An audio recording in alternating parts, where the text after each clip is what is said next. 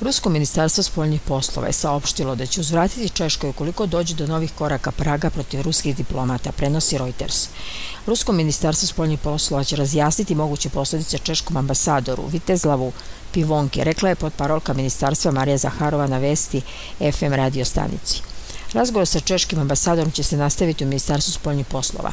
Nećemo nagađati više koje će korake da preduzmu. Imaćemo specifičnu konverzaciju u akciji koje mogu da se dese ukoliko Prag preduzme određene korake, objasnila je Zaharova, preneo je TAS.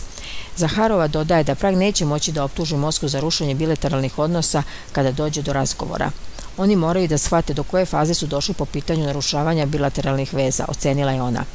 Ranije se pojavila informacija da bi Češka mogla da izbaci oko 60 članova ruske ambasade u Pragu. Ukoliko se Rusija ne odluči da do podneva povuče odluku da protira češke diplomate koji su proglašene personama non grata.